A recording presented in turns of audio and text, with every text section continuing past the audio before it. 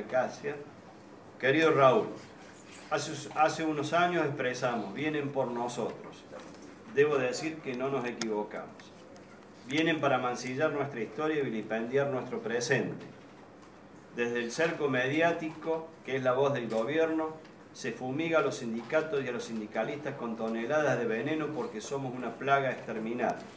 Un freno para el progreso de la nación, un estorbo para el lucro sin medida. En Argentina todavía no se matan a los sindicalistas como en Honduras, Guatemala o Colombia, pero se quiere eliminar a los sindicatos y el modelo de negociación colectiva. Un mal ejemplo en un mundo que se encamina a un escenario donde la gente encontrará un empleo, pero no tendrá ningún derecho vienen por nosotros porque el Fondo Monetario lo exige y la oligarquía nativa apoya con desmesurado entusiasmo. Pero vienen también por las pequeñas y medianas empresas, para que el país se rinda ante las importaciones y la actuación exclusiva de las transnacionales. Se avecinan tiempos complicados y tenemos el deber de revisar nuestra acción y entender que hoy vienen por nosotros porque nos encuentran divididos y con escasa incidencia política. En esta coyuntura de tremendo desafío sepan que cuentan con nuestro mayor respaldo y solidaridad de clase. No nos vencerá. Recibe, querido Raúl, junto al resto de las delegadas y delegados, mi sindicalista y fraternal abrazo de siempre. Gerardo Iglesias, secretario general de la Regional WIT.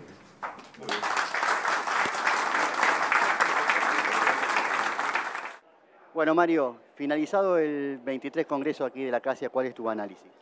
Bueno, primero y principal, eh, un análisis positivo por la cantidad de organizaciones presentes, este, por los temas discutidos que estuvieron a la altura de la problemática que estamos viviendo en estos momentos y por el nivel de seriedad que hubo en las discusiones.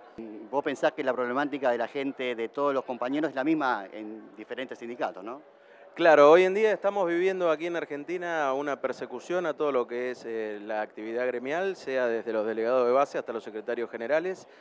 Es un modelo sistemático que ha implementado el gobierno donde quieren hacernos parecer que somos todos malos, que somos todos delincuentes, que no somos los representantes genuinos de los trabajadores para así avanzar sobre los derechos de los trabajadores.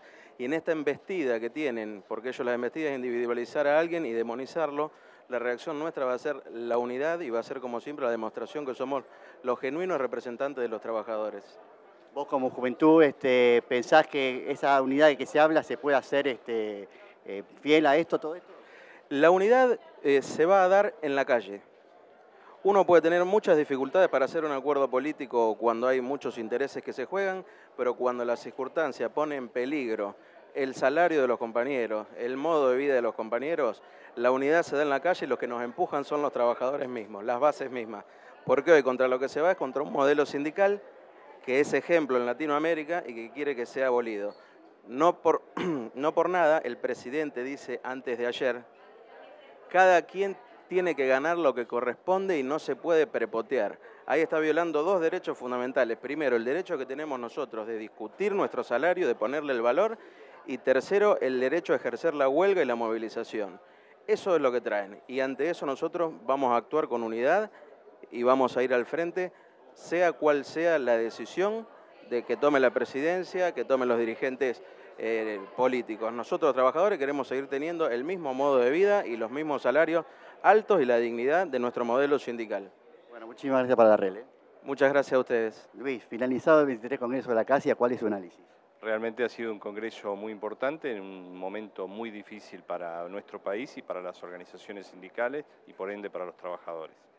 Usted habló de varias preocupaciones que había dentro de las cuales habían esas famosas aplicaciones que se están dando. Eso preocupa a ustedes, ¿no? Sí, a nosotros nos preocupa mucho porque nosotros hemos perdido, calculamos, 2.000 puestos de trabajo, tanto por todo lo que significa la entrega de domicilio de las ramas de servicios rápidos, de heladería y pizzería que tenían trabajadores propios y estaban sindicalizados y hoy con estas aplicaciones son eh, trabajadores independientes que no tienen ningún tipo de beneficio, ningún tipo de seguridad en su trabajo.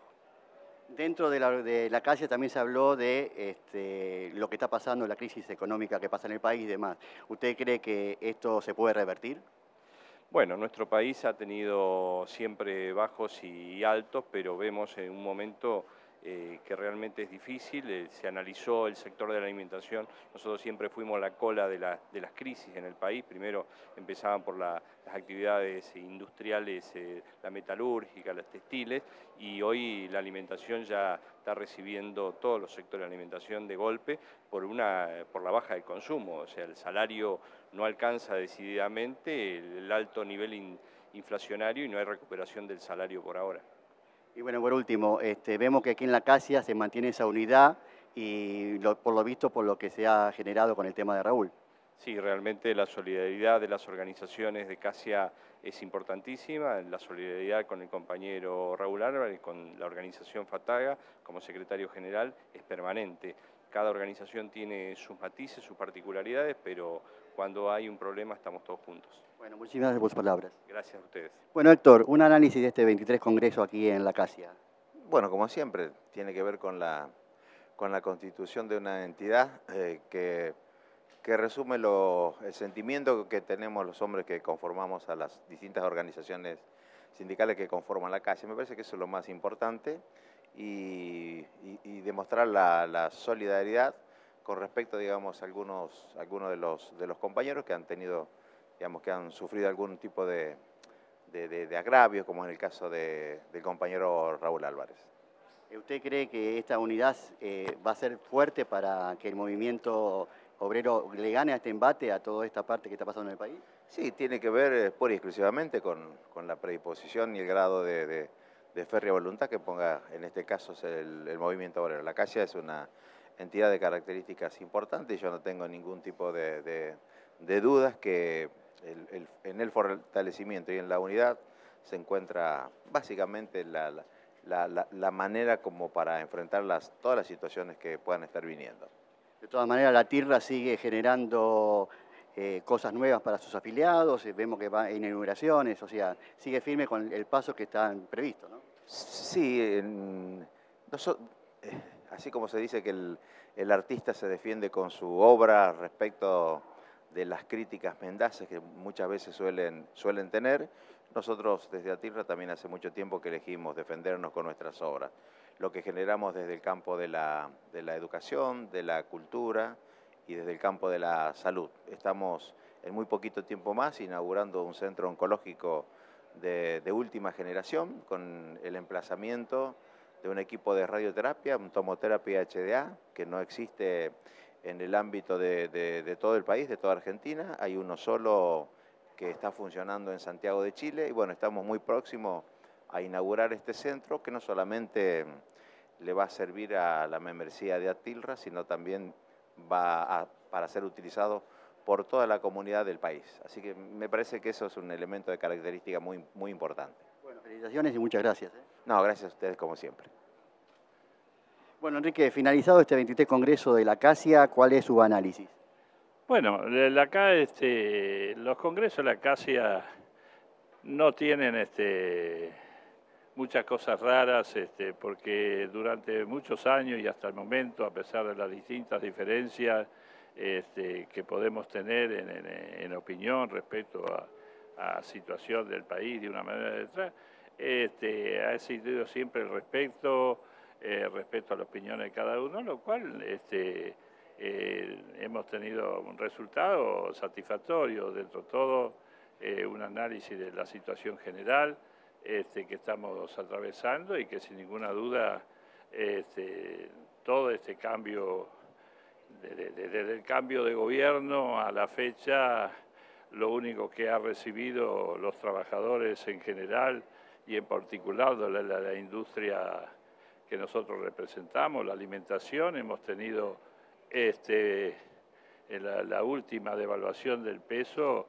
ha significado para, para la industria, fundamentalmente aquellos que trabajamos en el sector de farinacio, un golpe tremendo porque eh, la materia prima principal, que es el trigo, que se transforma en la materia prima principal de la actividad ya, este, ha tomado valores este, eh, realmente escalofriante en función de bueno, una, una devaluación catastrófica. Este, creo que para mí la devaluación es una devaluación concertada con, con el mismo acuerdo del Fondo Monetario Internacional, que es la única manera de que los trabajadores no tengan el poder adquisitivo que tenían este, hasta hace un tiempo atrás. Entonces, difícilmente podamos recuperar en esta apertura de paritaria, renegociación, cláusula gatillo, cláusula reconversión, toda la que hemos puesto. Es decir, porque, porque del otro lado también, a fuerza de ser sincero, este, eh, las industrias también en la pequeña y mediana empresa están destrozadas. Este, un, mercado de consumo que cae este, continuamente, un Producto Bruto Interno que, es escalofriante como cae, realmente estamos en una situación límite. Eh, y bueno, hay que seguir batallando, hay que seguir trabajando. Y bueno, y ayer yo escuchaba en función de una, fecha tan memorable, fundamentalmente para el movimiento obrero y aquellos que de alguna manera adhieran al movimiento nacional justicialista, dirigentes decir, este, pidiéndole a los políticos que se unan. Y yo siempre digo, algún día hablemos, hablemos para adentro y, analicemos nosotros este, eh, cuáles son los aciertos, si tuvimos alguno, y, también ver qué errores que hemos cometido bastante. Pero bueno, es decir, unámonos nosotros una vez por todas, porque por más vuelta que le demos, es lo de siempre, en lugar de juntar los, los posibles candidatos de que pueden ser del justicialismo futuro, no sé qué, pero es decir, juntarnos todos y decir, bueno, ¿qué van a hacer? Porque esto es lo que nunca hace el movimiento obrero y uno ve que de repente saca la cabeza a uno y allá va una agrupación sindical de, tanto, de tantos sindicatos a, este, a prestarle colaboración o adherirse.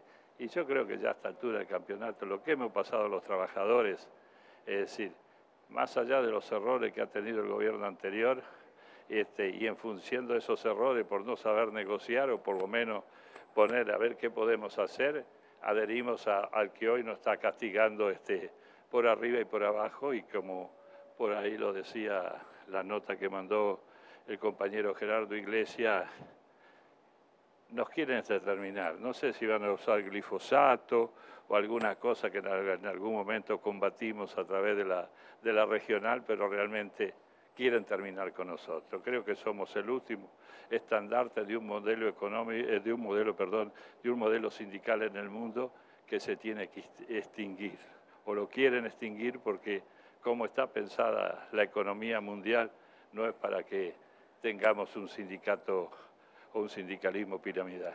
Muchísimas gracias. No, al contrario, a ustedes. Bueno, Héctor, un análisis de este 23 Congreso que ha pasado aquí en la CASIA.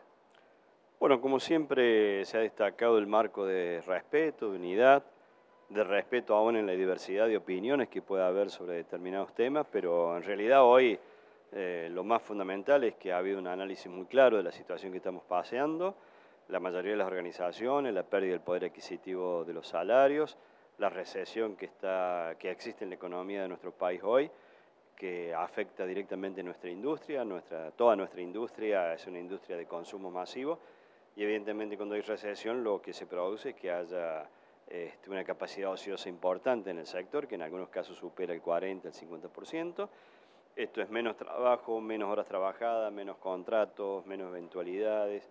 Y bueno, y eso realmente preocupa mucho, es decir, la defensa de la fuente de trabajo y aparte la, defensa del poder adquisitivo de los salarios, es decir, los pedidos de reaperturas de negociaciones, de salariales, además de un contexto donde las tarifas han impactado muy fuerte en el poder adquisitivo de los salarios, de las familias, y donde también estas tarifas han impactado fuertemente en la pequeña y mediana industria que a veces tienen que afrontar altas eh, facturas de gas o de consumo de energía que realmente hacen peligrar la continuidad de la fuente laboral. Todo esto ha sido motivo de un análisis, hay unas conclusiones que se van a reflejar en un documento que va a elaborar el que ha sido facultado el Consejo Directivo, además de expresar la solidaridad a todas las organizaciones perseguidas ante diferentes situaciones, porque está claro que cuando los sindicatos hoy defienden la unidad del convenio colectivo de trabajo, defienden los derechos de los trabajadores, hay un ataque sistemático a los dirigentes y bueno, en ese contexto se ha expresado la solidaridad hacia todas las organizaciones hoy perseguidas mediáticamente, en muchos casos por, por actitudes que, que no ni siquiera merecen mayor consideración. Pero Fundamentalmente en ese sentido también hemos encontrado eh, una carta muy, muy elocuente de nuestro secretario general de la Regional Latinoamericana de la UITA, donde expresa claramente esta, esta voluntad y este ataque al movimiento obrero y ratifica lo que ya se dijo en algún momento, vienen por nosotros, vienen por los sindicatos, porque estorbamos cuando defendemos los derechos de los trabajadores, estorbamos cuando se pretende flexibilizar el mercado laboral y estorbamos cuando se pretenden bajar los salarios. Muchísimas gracias. Gracias a ustedes, muy amable por acompañar.